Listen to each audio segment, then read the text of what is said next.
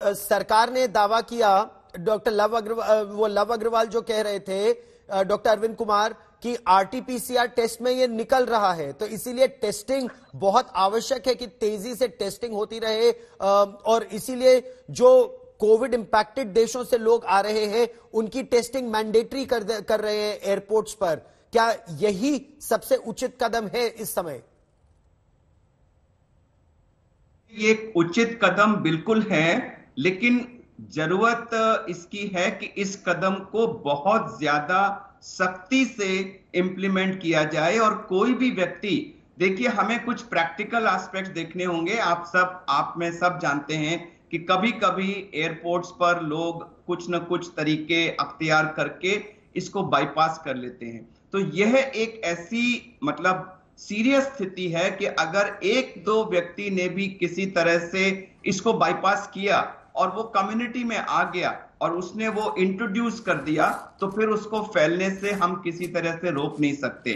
तो मेरा तो मानना है कि फ्लाइट्स पर रेस्ट्रिक्शन सबसे इफ़ेक्टिव तरीका है, लेकिन उसके अपने नुकसान हैं, अपनी प्रॉब्लम्स हैं। तो जब तक हम वो करने का फैसला ना लें, क्योंकि वो फैसला सरकार को बहुत सारी चीज़ें देख करके लेना होगा, उसको एकदम से नहीं कर सकते, तब तक सख्ती को बहुत ही सख्त तरीके से कि एक भी व्यक्ति चाहे वो किसी भी तबके का कोना हो वो एयरपोर्ट से बिना अपने सर्वेलेंस के बिना आरटीपीसीआर टेस्टिंग के निकल ना जाए। नहीं लेकिन डॉक्टर अरविंद कुमार क्या आपका ये मत है कि फ्लाइटों को अभी रोक देना चाहिए? क्योंकि इस पर भी थोड़ी सी राजनीति हो रही है। कुछ लोग कह रहे हैं कि फ्लाइट्स को क्यों नहीं रोक रही है सरकार? जो सेकेंड वेव में हमने देखा हम ऐसी स्थिति में क्यों जाए दोबारा?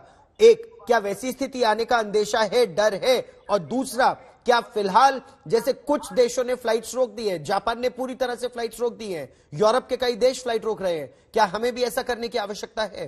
आवश्यकता है। देखिए मुझे सेकेंड वेव की इतनी कठोर यादें हैं कि मैं किसी भी कीमत पर अपने को या देश को उस तरह की एक दूसरी या तीसरी वेव से पास होते हुए हरगिज नहीं देखना चाहूँगा। और उसके लिए आज की तारीख में मैं ओवर रिएक्ट करने को तैयार हूँ रादर देन अंडर रिएक्ट और बाद में हम उसमें पछताएँ।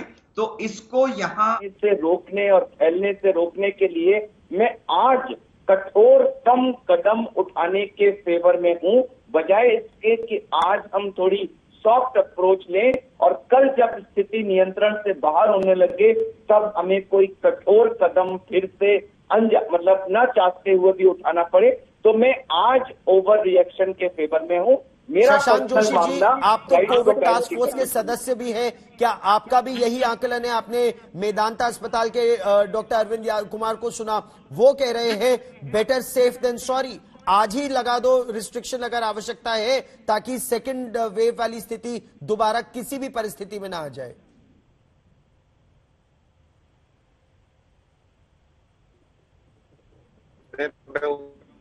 जी शशांक जी।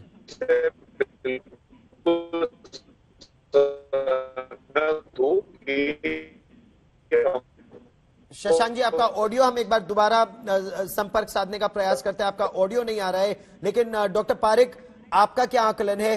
क्या इंटरनेशनल फ्लाइट्स पर किसी तरह का फ़िलहाल, चाहे शॉर्ट स्पैन के लिए अंकुश होना चाहिए, या फिर आप जैसे ही फ़्लाइट फिर खोलेंगे, आप उसको डीले कर सकते हैं। आपको कुछ डील तो करना ही पड़ेगा। देखिए, मेरी राय ये है, गौरव जी, कि अभी तक वो समय नहीं आया है कि हमको इंटरनेशनल फ़्लाइट को रोकना चाहिए। लेकिन एक बात समझना, एक बहुत सीधी बात है, वो समझना बहुत ज़रूरी है। जब समझो, कोई पुलिस कमिश्नर खड़ा रह के प्रेस कॉन्फ्रेंस दे के बोलेगा कि मैंने इस साल 20 चोर को पकड़ लिए हैं। वो भाई ठीक है, लेकिन कितने को नहीं पकड़े तो कोई नहीं जानता ना।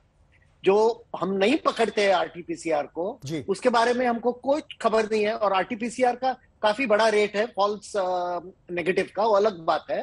तो कितने लोग आरटीपीसीआर से एस्केप होते हैं? क्योंकि ये फॉल्स सेंस ऑफ़ सिक्योरिटी आता है कि भाई मैं तो एकदम सुरक्षित हूँ। वो सवाल हमको आंसर करना चाहिए। वैक्सीन कितनी इम्यूनिटी दे रही है वो हमको अभी तक पूरा पता नहीं है। हमको ये पता है कि अनवैक्सीनेटेड लोगों में ज़्यादा है। लेकिन वैक्सीन की इम्यूनिटी कितनी हम नहीं जानते हैं और इसका ट्रीटमेंट क्या होगा वो भी नहीं जानते। तो काफ़ी चीज़ें हम लोग नहीं जानते हैं लेकिन सबसे महत्वपूर्ण चीज़ यही है ये कितना कठोर है। ये अगर कठोर होगा तो बहुत मुसीबत है। ये नहीं होगा तो शायद डेल्टा प्लस वेरिएंट को हिला देगा और शायद अच्छी भी बात हो सकती है।